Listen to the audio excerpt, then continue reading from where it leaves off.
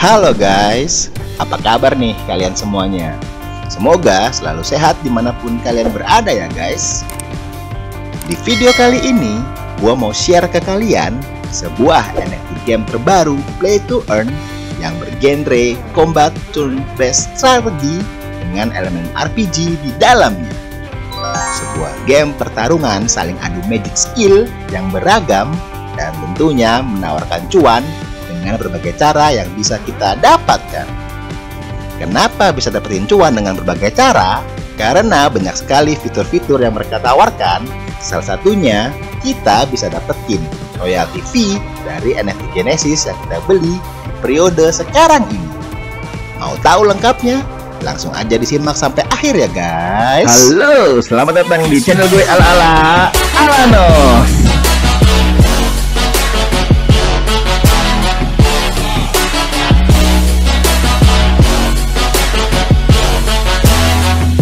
Wizardia merupakan sebuah NFT game AAA yang berada di jaringan BSC untuk item NFT-nya dan Solana untuk tokennya. Game ini selain bisa dimainkan di PC, nantinya juga akan merilis mobile versionnya, baik untuk di Android maupun iOS. Wizardia dibuat oleh developer dengan anggota tim intinya yang berasal dari Lithuania dan Inggris yang memang memiliki banyak pengalaman di bidangnya masing-masing. Jadi, gak heran kalau Project Wizardia ini udah punya advisor dan partner yang cukup terkenal dan bagus. Bisa kalian lihat sendiri ya guys di video. Wizardia ini udah mulai dikonsep dan dikembangin sejak tahun 2021. Saat ini mereka udah ngelakuin sale NFT dan juga IDO di berbagai launchpad dengan TGE-nya yang akan dilakukan tanggal 24 Maret sekarang ini. Gamenya sendiri bakal di launching untuk alpha versionnya di kuartal 2 2022. Wizardia sementara ini hanya akan menggunakan satu token saja dalam ekosistem permainannya, yaitu yang bernama WZRD dengan total maksimal supply sebanyak 300 juta token. Token ini bisa kita gunakan untuk staking, transaksi in-game, transaksi jual beli item NFT, dan juga sebagai pembayaran pasif royalty bagi pemilik NFT Genesis pertama di Wizardia. Buat kalian yang ikutan TGE token Wizardia melalui Gate.io maupun PancakeSwap, jangan lupa langsung di staking ya guys.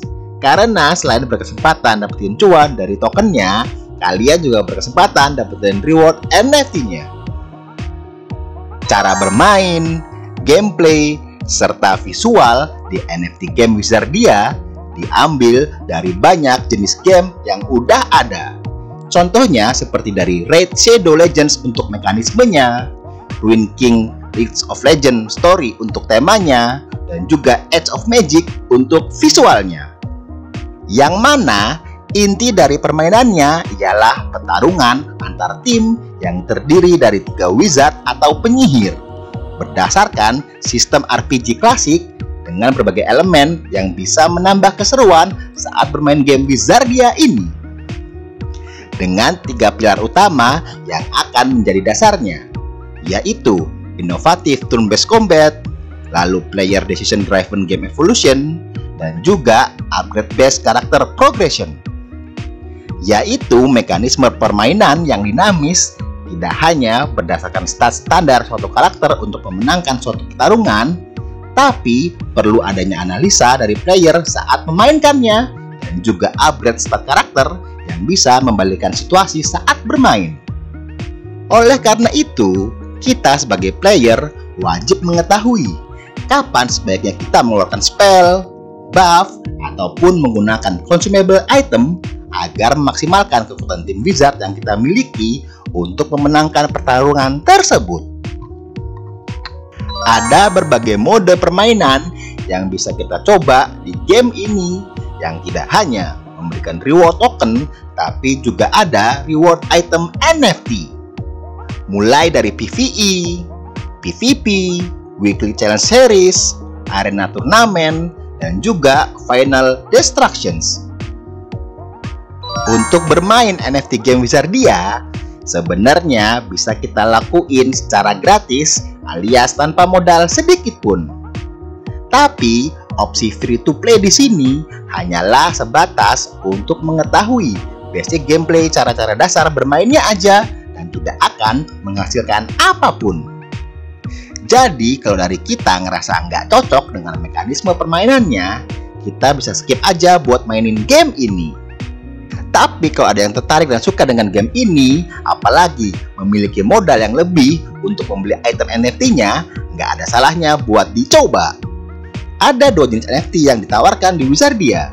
Yang pertama ialah Arena Genesis NFT. NFT yang akan otomatis di stack ini bisa memberikan kita tambahan pendapatan dari setiap arena NFT yang digunakan saat pertarungan. Pembagian pendapatan ini akan dibagi rata bagi para pemilik NFT arena lainnya. Ada project calculator yang bisa kita coba untuk memperhitungkan keuntungan yang bisa kita dapatkan. Lalu NFT yang kedua ialah Wizard NFT.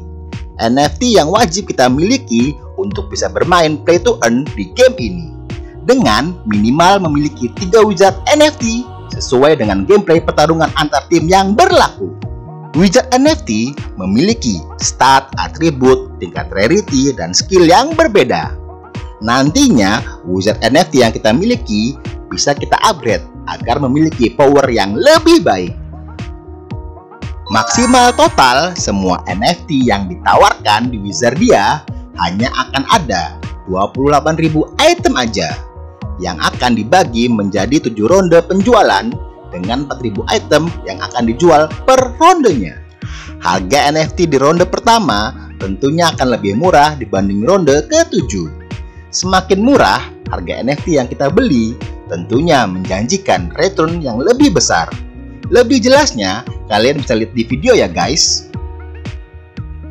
Saat ini, penjualan NFT Wizardia udah memasuki ronde ketiga di harga 225 dolar. Buat kalian yang nggak mau ketinggalan, bisa langsung meluncur ke web mereka yang linknya gue taruh di deskripsi video. Dengan membeli NFT Genesis Wizardia di periode sekarang ini, akan ada pasif royalty buat kita sebagai pemilik awal yang udah gue singgung di awal video. Yang berarti kita bakalan tetap bisa ngedapetin cuan walaupun udah ngejual NFT yang kita punya.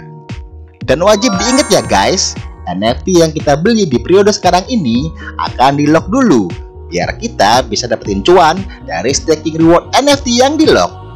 Nantinya reward plus NFT-nya baru akan ke unlock waktu Battle Arena Wizardia udah di launching. Selain itu, kita sebagai pemilik NFT Wizardia juga memiliki opsi untuk mendapatkan cuan lainnya yaitu dengan menyewakan NFT yang kita miliki ke player lain yang mungkin terhalang modal untuk membelinya. Belum dijelaskan bagaimana sistem renting atau scholarship dari NFT ini. Tapi yang jelas akan menguntungkan bagi kedua belah pihak, baik yang menyewa ataupun yang menyewakannya. So, gimana guys? Apakah kalian tertarik dengan NFT game Wizardia? Dengan sistem permainan yang menarik dan total Genesis NFT yang terbatas untuk dikoleksi, sepertinya game ini wajib kalian coba atau paling enggak NFT Genesis dari Wizardia wajib kalian buru buat dapetin cuannya. Karena dari awal beli udah bisa ngasih staking reward, terus bisa dapetin royalti dari tiap penjualan NFT Genesis, nggak ketinggalan reward yang bisa kita dapetin waktu mainin game Wizardia. Kalau mungkin di tengah-tengah game kalian ngerasa bosen, kalian bisa dapetin cuan lagi dengan ngejual NFT-nya ke player lain atau malah dapetin cuan dari nyewain NFT punya kita ke player lain. Untuk lebih detailnya mengenai pembahasan yang udah gue sebutin di video ini, bisa kalian langsung coba baca-baca paper mereka ya guys. Dan jangan lupa follow sosial media mereka seperti di Twitter, Telegram, dan Discord. Karena selain ada info mengenai update-update terbaru tentang gamenya, kalian juga bisa tahu info-info event airdrop yang mereka lagi adain. Buat sekarang ini, mereka lagi ngadain event airdrop yang berhadiah total senilai 3.110 dolar. Bisa coba kalian ikutin tuh guys. Terima kasih buat kalian yang udah nonton video ini sampai akhir. Sekian dulu pembahasannya mengenai NFT game Wizardia. Jika kalian ada pertanyaan dan juga saran mengenai project atau game apa yang mau gue bahas lebih detail di video berikutnya, silahkan tulis di kolom komentar di bawah ya guys. Like dan share tidak lupa juga di subscribe jika kalian merasa video dan channel ini bermanfaat. Sampai jumpa di video gue lainnya. Gue Alanos undur diri. See ya!